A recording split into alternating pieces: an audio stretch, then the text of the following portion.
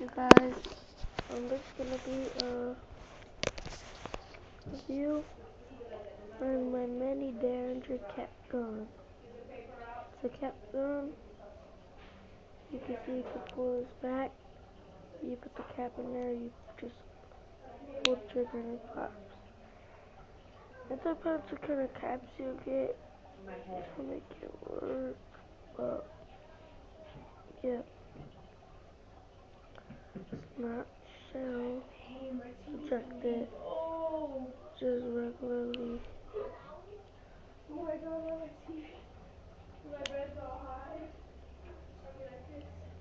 So yeah.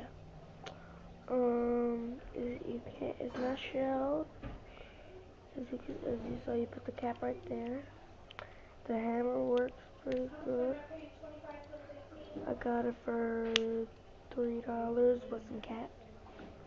Good deal. It had a keychain. I cut it off. No, no. The trigger, the barrel is pretty, just regular orange. One day I feel like I'm just gonna take off the orange tip, but I thought it holds everything in place. Yeah, I think so.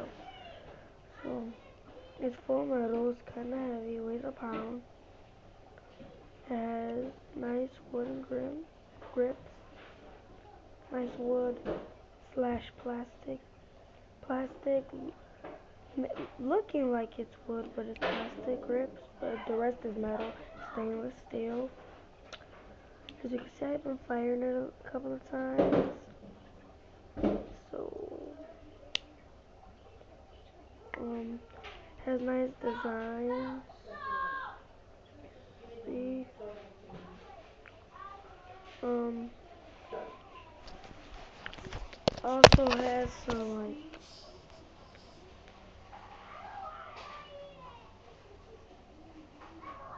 like uh hold up guys um it has like these rubbery grips or like these nice. Yeah, now you can see it better nice little design.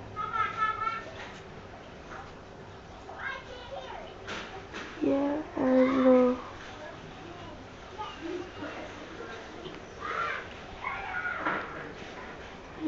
that's the Derringer that's the Derringer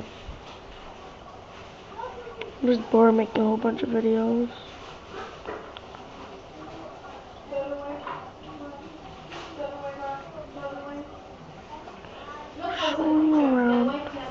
It says it's May. Right? It says right. If you could get my camera. Can't make it to get full. It says 8 to. It says Jaru 88252. China. It was so I think it was made in China. Mostly everything is made with China. In China or something. So, I'm gonna get more of these today or Friday. Because today is Thursday. Wait. Hold on. Thursday.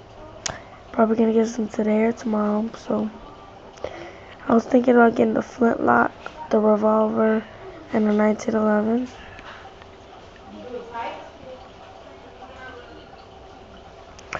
So, please comment, subscribe.